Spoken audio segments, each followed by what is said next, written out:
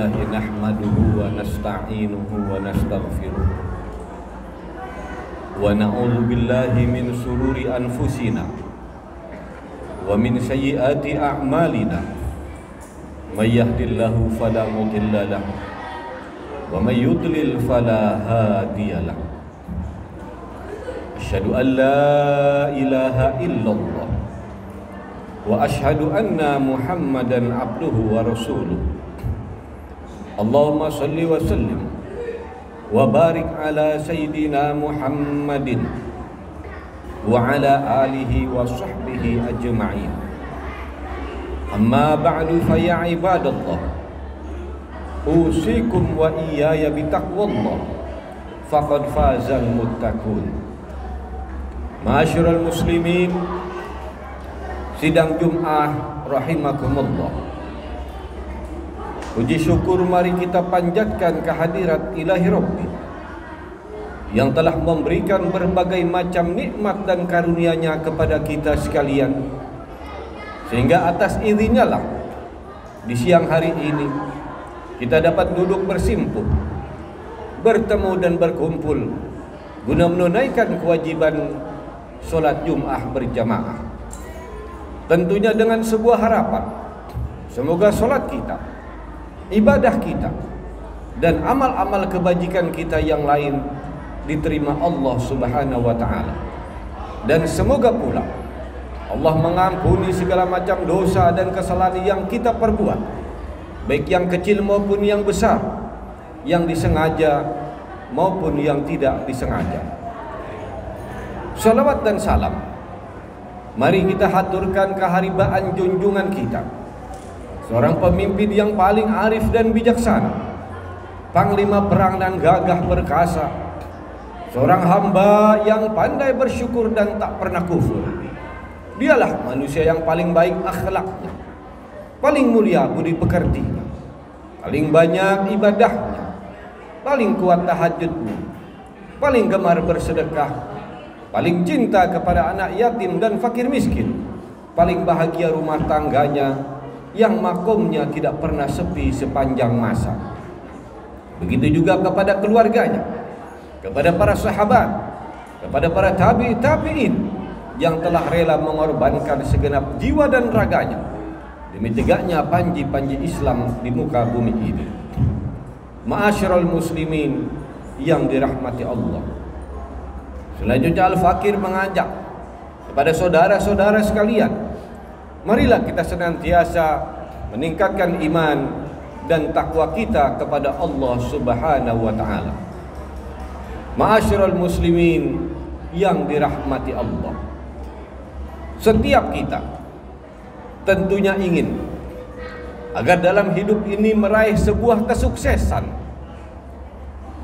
Itulah sebabnya maka dengan segala macam daya dan upaya Dengan berbagai macam teori dan strategi Orang akan melakukan berbagai macam cara Guna meraih apa yang dia inginkan Namun sayang seribu sayang Banyak di antara kita yang salah jalan Banyak di antara kita yang salah arah Guna meraih apa yang dia inginkan Akibatnya tidak sedikit di antara kita yang harus berhadapan dengan hukum. Duduk di kursi pesakitan. Bahkan sampai menginap di hotel prodio alias penjara.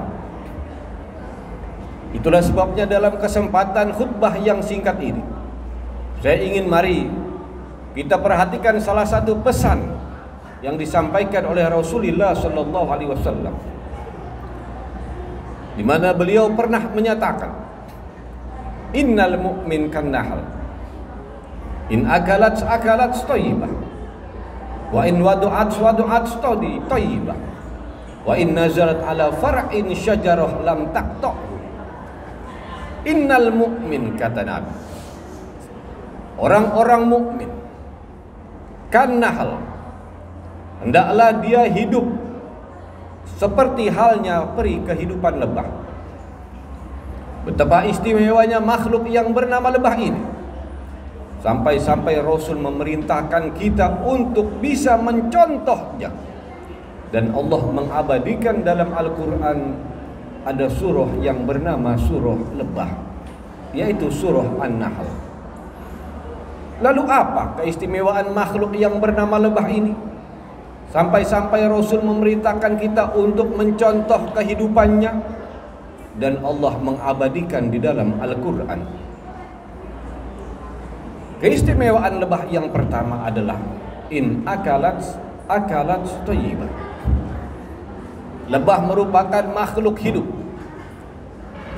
yang tidak sembarang makan, tidak sembarang minum, tidak sembarang hinggap. Tidak seperti kita layaknya sebagai manusia yang mengaku-ngaku makhluk paling sempurna. Segala macam kita makan, segala macam minuman kita minum.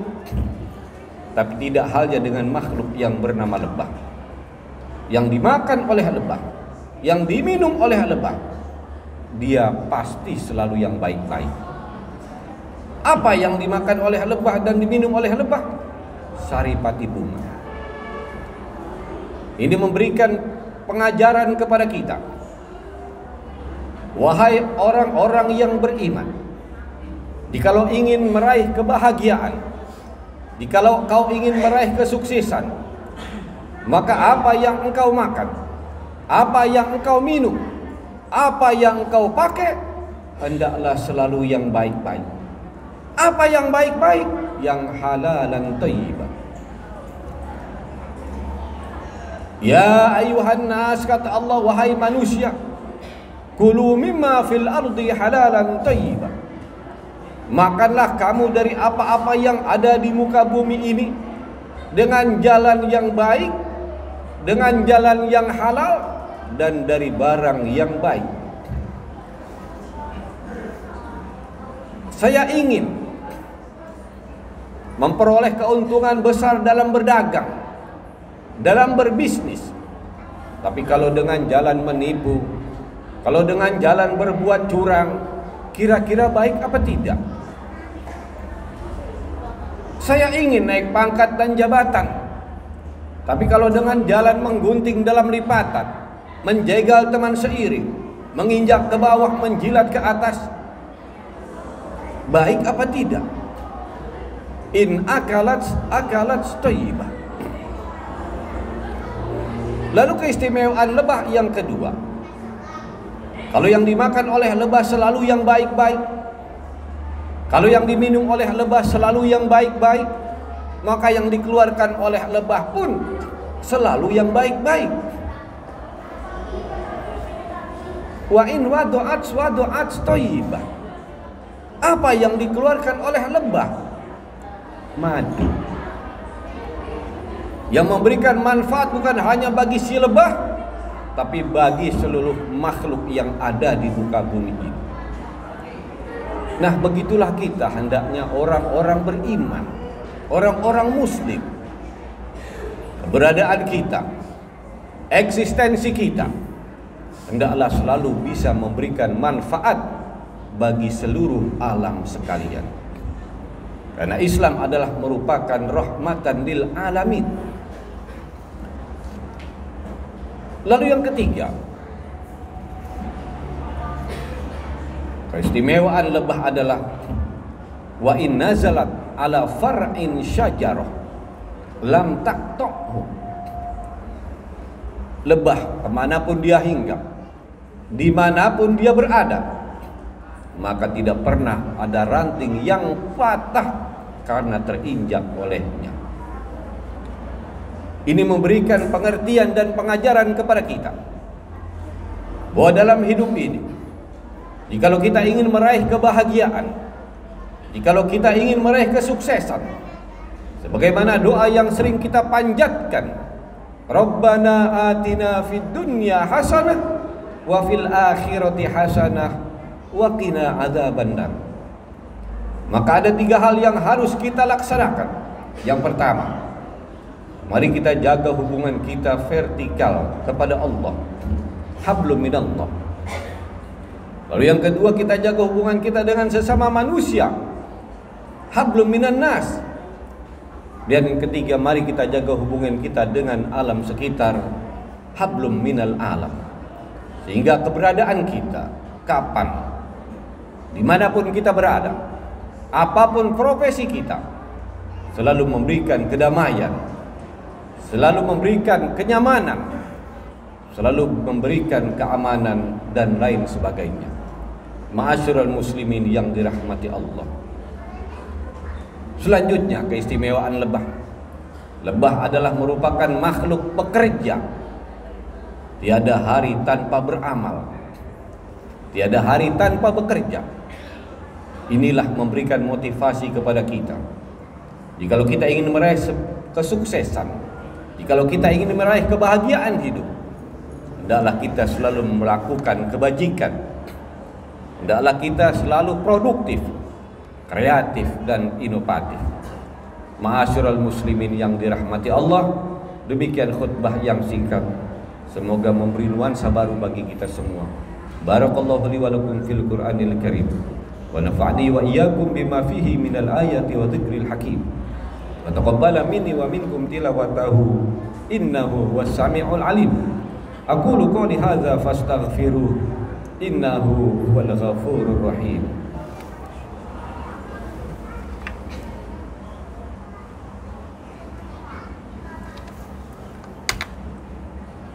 Alhamdulillah hamdan kathiran kama amar.